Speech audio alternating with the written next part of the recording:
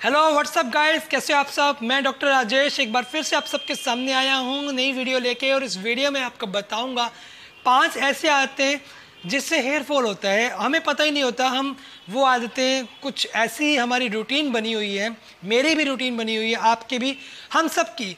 उन आदतों से कोई नहीं बच पाया है कोई नहीं बच, अब जब मैं बताऊँगा तब आपको पता लगेगा कि क्या सच में इन आदतों से हेयर फॉल होता है। हमें पता ही नहीं हो पाता कि हम ये यूज़ कर रहे हैं और इनसे हमारे हेयर फॉल हो रहे हैं या फिर इनसे हमारे बाल पतले हो रहे हैं या फिर इनसे हमारे बाल वाइट हो रहे हैं हमारे बाल डैमेज हो रहे हैं। तो दोस्तों, इनके बारे में बात करूँगा। तो चलिए शुरू करते हैं। नमस्कार दोस्तों, मैं doctor Rajesh, hair transplant specialist, skin care expert, beauty expert और आपका दोस्त और होस्ट। और दोस्तों, अगर आप पहली बार हमारी वीडियो देख रहे हो तो इस चैनल को सब्सक्राइब कर दो, लाइक, शेयर, कमेंट कर दो। बता दूँ कि हमारे चैनल में हम हेयर ट्रांसप्लांट के बारे में, स्किन केयर के बारे में, ब्यूटी के बारे में और हेयर ट्रांसप्लांट के बारे में कंप्लीट नॉलेज देते हैं, कंप्लीट अपडेटेड ट्रीटमेंट्स देते हैं। इसके साथ साथ हम अफवाहों से परे वीडियो बनाते हैं, अफवाहों को दूर करते हैं, अफवाहों को दूर करने वाली वीडियोस भी हम बनाते हैं। आज बताने वाला हूँ, दोस्तों, हमने बहुत बार सुना होगा कि बहुत से लोग होते हैं, आपने आपके घर में भी आपने देखा होगा, आ, या फिर आपने खुद ने आजमाया भी होगा कि हेयर फॉल या फिर हेयर लॉस हो रहा होता है, आप बहुत कुछ आजमाते हो। महँगे से महँगा शैम्पू आजमाते हो, महँगे से महँगा ऑयल, महँगे से महँगी मेडिसिन आप आजमाते हो, अच्छे से अच्छे डॉक्टर्स के पास आप चेकअप करवाते हो, लंबे टाइम तक, एक साल, दो साल, तीन साल तक आप ट्रीटमेंट्स लेते हो, महँगे से महँगी थेरेपी करवाते हो, स्पा करवाते हो, सैलून वाले से ट्रीटमेंट करवाते हो, पार्लर वाले से ट्रीटमेंट करवाते हो, आप आयुर्वेदिक ट्रीटमेंट करवाते हो, होम्योपैथिक यूनानी मॉडर्न और पता नहीं क्या क्या ट्रीटमेंट्स मिनोक्सीडिल यूज़ करते हो डर्मारोलर आप यूज़ कर लेते हो पीआरपी यूज़ कर लेते हो, उसके बावजूद दोस्तों, उसके बावजूद हेयर फॉल रुकने का नाम नहीं लेता। ऐसा होता है, बहुत लोगों के साथ होता है। ऐसा क्यों होता है दोस्तों, बता दूँ कि आप सबको पता है कि जब तक किसी भी बीमारी के कारणों को हम दूर नहीं करेंगे ना, तब तक वो बीमारी ठीक नहीं होगी। कोई भी बीमारी हो, जब तक हम उसके कारणों तक नहीं पहुँचेंगे, उसके कारणों को दूर नहीं करेंगे, उनके कोजेज़ को दूर नहीं करेंगे, तब तक वो बीमारी, वो कोज दूर नहीं होगा, वो प्रॉब्लम्स सॉल्व नहीं होगी। तो आज मैं आपको पाँच ऐसे बताने जा रहा हूँ बातें जो आपके बालों के दुश्मन हैं, लेकिन आप यूज़ करते हो अपनी लाइफ में। जी हाँ दोस्तों, मैं भी यूज़ करता हूँ, आप भी यूज़ करते हो, हम सभी यूज़ करते हैं। और ज़रूरत है हमें इन्हें अवॉइड करने की या फिर कम करने की तो आप भी सोचोगे कि ऐसी वो कौन सी बातें हैं, ऐसी वो कौन सी आदतें हैं, या फिर ऐसी वो कौन सी डेली रूटीन्स हैं जिन्हें हम फॉलो करते हैं अपनी लाइफ में और जो कि हमारे हेयर फॉल का कारण है। पहली आदत जो है दोस्तों वो है नमक। शो, शौक हो गए ना चौंगे कि नमक तो सब्ज़ी में खाते हैं, रोटी में खाते हैं। हम नमक तो सभी खाते हैं लेकिन सबके सबके हेयर फॉल क्यों नहीं होता? सबके गंजापन क्यों नहीं होता? ये बात हमारे माइंड में आती आती है। बिल्कुल दोस्तों, नमक जो होता है आप देखते हो कि नमक का प्रयोग आज के टाइम में इतना बढ़ गया है। फास्ट फ़ूड के रूप में हम करते हैं अचार के रूप में हम करते हैं जो आ, रोटी में करते हैं। पहले नमक आता था वो काफ़ी प्योर आता था लोग घरों में बनाते हैं। आज का नमक में केमिकल्स का यूजेस आने लग गया है प्योर नमक नहीं आता। उसके साइड इफ़ेक्ट से बाल गिरते हैं दोस्तों। एक्चुअली आप देख रहे हो कि आजकल हेयर फॉल का पेशेंट हर घर में है। हेयर लॉस का पेशेंट हर घर में, हर घर में देख लीजिए आप, किसी ना किसी शख्स को हेयर लॉस की प्रॉब्लम ज़रूर मिलेगी आपको, चाहे वह मेल हो या फीमेल एक एक शख्स आपको ज़रूर मिल जाएगा।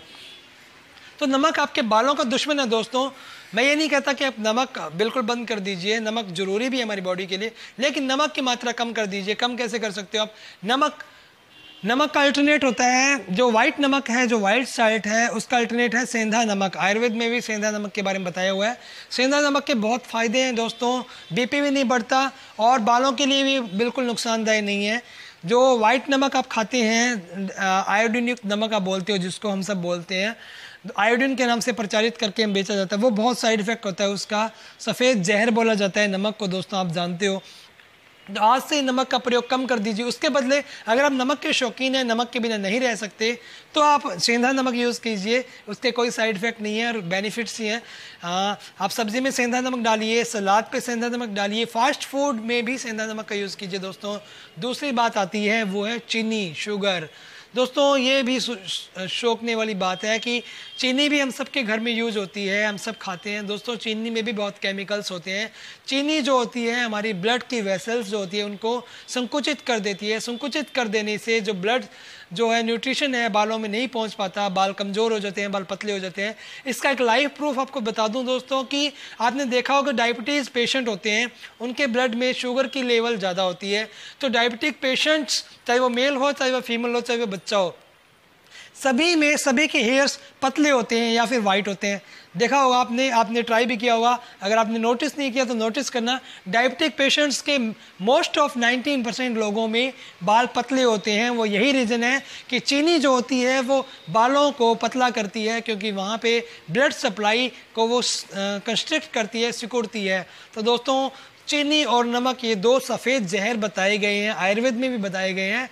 और भी चीनी और नमक के बहुत से दुष्परिणाम आपके सामने आते हैं। लेकिन बालों में सबसे बड़ा इंपॉर्टेंट रोल होता है, चीनी और नमक। तो दोस्तों, मैंने बताया था कि हम डेली यूज़ करते हैं, हमें पता ही नहीं होता। तो चीनी हो गया, नमक हो गया, तीसरी बात आती है केमिकल यूज़ अब बहुत से लोग होते हैं जो बोलते हैं कि मैं तो बालों में केमिकल यूज़ ही नहीं करता। ना तो बालों में स्प्रे यूज़ करता, ना जेल यूज़ करता। लेकिन दोस्तों, यहाँ पे केमिकल यूज़ सिर्फ़ बालों में एक्सटर्नल ही नहीं इंटरनल केमिकल का प्रयोग भी हम करते हैं दोस्तों। चाहे हम डिब्बा बंद पैकेट्स खा रहे हैं, डिब्बा बंद के, डिब्बा बंद हम फ्रूट्स खा रहे हैं, डिब्बा बंद हम जूस ले रहे हैं, डिब्बा बंद हम फ्रूट्स खा रहे हैं। इसके साथ साथ हम देखते हैं कि डिस्पोजेबल्स का क्रेज़ बहुत चल गया है। मैरिज में पार्टीज़ में, हम गर्म चीज़ डिस्पोजेबल्स में रहते हैं तो प्लास्टिक घिल के, वो केमिकल घुल के अपनी बॉडी में जाता है। इसके बाद सब्जियों पर केमिकल का प्रयोग होता है वेजिटेबल्स पर केमिकल का प्रयोग होता है। जितने भी फास्ट फ़ूड हैं, वो ऑयल जो होता है, वो केमिकल बन जाता है। तो दोस्तों केमिकल से हम बच नहीं पाते तो केमिकल का यूज़ हम इंटरनली करते हैं, वो ब्लड में मिल हमारे बालों तक पहुँचता है, जो कि बालों को गिरा देता है, बालों को कमज़ोर कर देता है, पतला कर देता है। तो तीन कॉजेज़ हो गए, नमक हो गया, चीनी होगी केमिकल यूज़ चौथा हो गया दोस्तों, गर्मी। अब गर्मी का प्रयोग बहुत ही बढ़िया एग्जांपल समझाता हूँ। एक पेड़ एक पेड़, पौधा कोई भी होता है उसके जड़ में आप डेली गर्म पानी डालिए, उबलता हुआ पानी, गर्म पानी डेली डालिए। आप देखोगे कि महज पाँच से सात दिनों में या फिर दो तीन दिन में वो हरा हरा भरा जो फूलों वाला, खुशबू देने वाला पौधा था, गर्म पानी से मुरझा गया है। वैसे ही होता है दोस्तों, गर्मी से हमारे बाल मुरझा जाते हैं, कमज़ोर हो जाते हैं, पतले हो जाते हैं। गर्मी का मतलब ये भी नहीं है कि आप धूप में जा रहे हो तो उस वो गर्मी। गर्मी का मतलब इंटरनल गर्मी, जिससे हमारी बॉडी की हीट बढ़ती हो चाहे वो गुस्सा हो, चाहे वो टेंशन हो, चाहे वो तनाव हो, चाहे वो जो एग्रेशन होता है एग्रेशन होता है, वो हो, चाहे वो ज़ोर से बोलना हो, जिस चीज़ से भी हमारी बॉडी के हीट इंक्रीज होती है, जैसे गुस्से से बहुत ज़्यादा इंक्रीज होती है दोस्तों, इसके साथ साथ जब हम किसी पे क्रोध करते हैं, किसी से लड़ाई झगड़ा करते हैं, तब भी हमारे जो हैं बाल जो कमज़ोर होते हैं, बालों पे बहुत ज़्यादा असर होता है। तो दोस्तों, मेरी एडवाइस है कि गुस्से को बिल्कुल कम कर दीजिए, शांत रहिए और आपके बाल देखिए, इसके बाद बिल्कुल नहीं गिरेंगे। और बता दूँ कि इसके साथ साथ गर्म पानी का प्रयोग भी नहीं करना है बालों में। धूप में जाते हो, गर्मी से बचते हो, उसका प्रयोग भी आपने नहीं करना है, गर्मी से भी बच के रहना है। तो चार चीज़ें होंगी दोस्तों नमक हो गया, इसके साथ मैंने बताया था चीनी हो गई और केमिकल यूजेस हो गया, और हो गया दोस्तों एक चीज़ रहेगी जो थी केमिकल यूज़ हो गया। और लास्ट चीज़ बता दूँ दोस्तों मैं, नींद ना लेना। बहुत से लोग आज के टाइम में जब से इंटरनेट फ्री मिलने लगा है या फिर बहुत सस्ता इंटरनेट हो गया है, तब से हम रात भर नाइट वॉचमैन बन के रहते हैं नाइट भर जागते रहते हैं मोबाइल में लैपटॉप में पीसीज में। हम गूगल सर्फर करते रहते हैं वीडियोस देखते हैं, जो भी करते हैं एक्स वाई जेड हम सोशल मीडिया पे भी अटैच रहते हैं। तो उसका कहीं ना कहीं इफ़ेक्ट बालों पे ज़रूर पड़ते हैं दोस्तों। रात भर जागने से हमारी मेटाबॉलिज्म प्रभावित होती है। तनाव बंदा जो है, अनिद्रा का शिकार होता है, तनाव का शिकार होता है, हार्मोनल इम्बैलेंस होता है, हमारी बॉडी का जो पूरा मेंटेन है बैलेंस है, वो इम्बैलेंस हो जाता है। ब्रेन को और आइज़ को हमारी रिलैक्स नहीं मिल पाता, उसका सीधा सीधा असर हमारी बालों पे पड़ता है। तो पाँच कारण हैं दोस्तों, नमक चीनी, केमिकल प्रयोग, गर्मी और इसके साथ नींद न लेना अनिद्रा। तो ये पाँच कारण आज अवॉइड कर दीजिए। इसके साथ साथ बता दूँ कुछ कारण और भी हैं। हाइजीन भी बहुत इंपॉर्टेंट है। बालों में तेल ना लगाना ये भी इंपॉर्टेंट है। इसके साथ साथ जो लास्ट इंपॉर्टेंट चीज़ है वो स्मोकिंग ड्रिंकिंग तो दोस्तों ये फास्ट फ़ूड और कोल्ड ड्रिंक भी होता है। तो दोस्तों ये बातें हैं जो शुरू की पाँच बातें हैं। इन्हें आप अवॉइड करके देखिए। और बिलीव मी और ट्रस्ट ट्रस्ट में कि आपके बाल जो हैं बिल्कुल शाइनिंग हो जाएँगे, मज़बूत हो जाएँगे। हेयर फॉल की प्रॉब्लम आपकी दूर हो जाएगी। अगर आप इन पाँच कारणों को अवॉइड करते हैं तो। और मेरे से कुछ भी एडवाइस चाहिए तो मुझे व्हाट्सअप कर सकते हो। मेरा व्हाट्सअप नंबर है eight nine double five double two four three zero four मुझे गंगानगर में मिल सकते हो, मुझे जयपुर में मिल सकते हो। और हेयर ट्रांसप्लांट के बारे में मेरे से कंसल्ट कर सकते हो। व्हाट्सअप नंबर एक बार फिर रिपीट कर दूँ। Eight nine double five double two four three zero four कुछ भी एडवाइस चाहिए, मेरे से डायरेक्ट पूछ सकते हो। Thank you so much